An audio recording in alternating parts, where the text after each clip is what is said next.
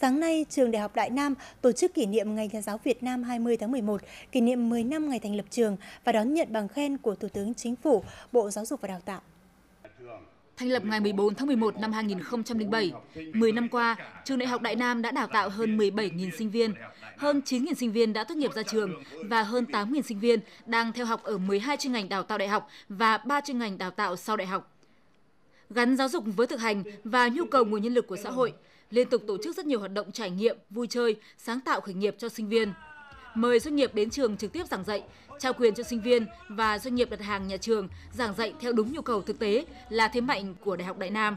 Bởi thế, tỷ lệ sinh viên tốt nghiệp ra trường có việc làm của nhà trường hàng năm luôn đạt tỷ lệ trên 90%. Đặc biệt, các ngành công nghệ thông tin, dược, truyền thông có tỷ lệ việc làm rất cao. Học để thay đổi, Kim Chỉ Nam mà mỗi thầy cô giáo nơi đây luôn trao quyền và nỗ lực mang lại cho 11 khối học sinh của mình đã giúp nhà trường xây dựng và tích lũy niềm tin của các bậc phụ huynh, các cơ quan quản lý giáo dục, của cả xã hội để khẳng định vị trí của Đại học Đại Nam trên bản đồ giáo dục nước nhà. Cùng với bằng khen của Thủ tướng Chính phủ, nhiều cá nhân có thành tích xuất sắc cũng được trao tặng bằng khen của Bộ Giáo dục và Đào tạo.